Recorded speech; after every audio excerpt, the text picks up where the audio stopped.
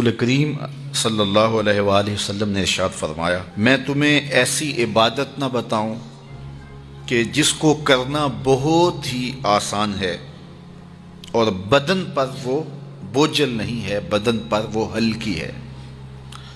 इबादतों में मुशक्क़त तो उठाना पड़ती है। आप नमाज़ पढ़ना चाहेंगे तो आपको वज़ू करना पड़ेगा, ठंडे पानी से, चल के मस्जिद जाना पड़ेगा, रकू सजूद होंगे।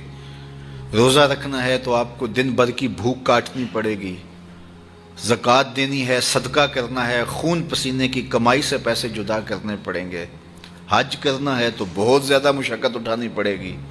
जितने भी आमाल हैं, खैर के, अच्छाई के, उनमें बहुत ज़्यादा मुशक्क़त उठाना पड़ती है।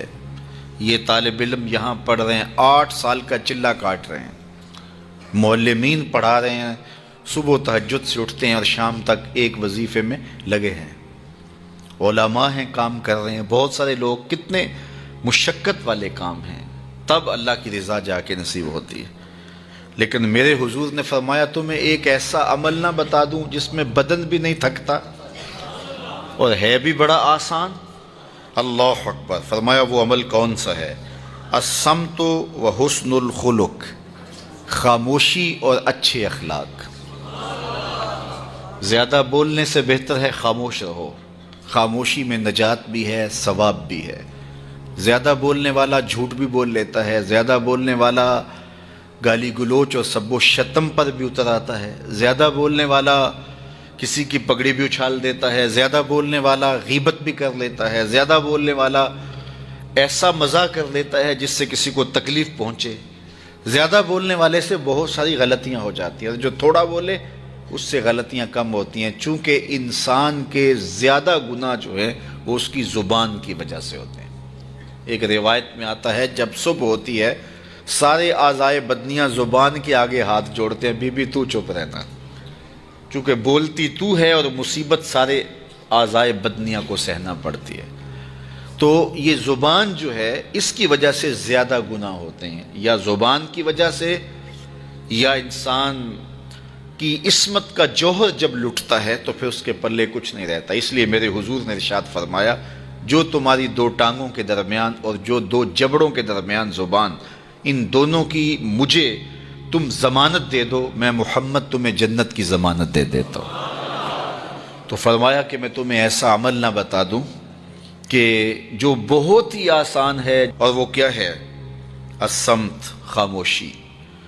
व हसनखुल्क और दूसरी बात, अच्छे अखलाक, रवैयों की खूबसूरती। किसी से मिलो तो हंस के मिलो। किसी से बात करो तो लहजे में नरमी हो।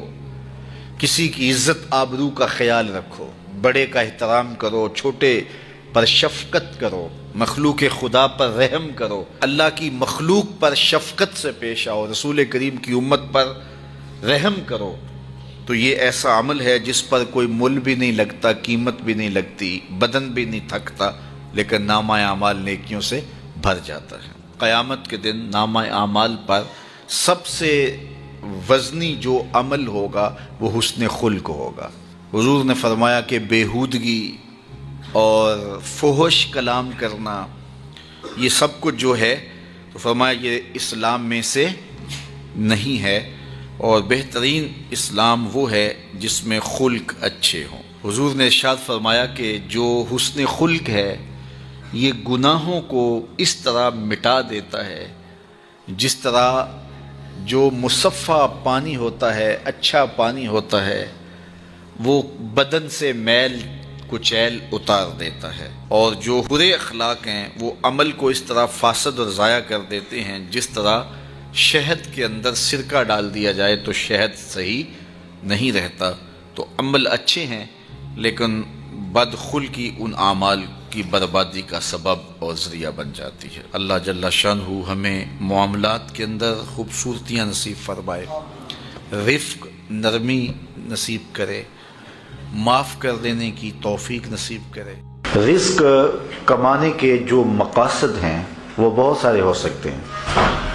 लेकिन शरीयत में कारोबार करने के रिस्क रोज़ी कमाने के बुनियादी मकासद तीन हैं। पहला मकसद, अपने आप को सवाल से बचाना। दूसरा मकसद, अपने आप को हराम से बचाना। तीसरा मकसद, अपनी औलाद की कफालत करना।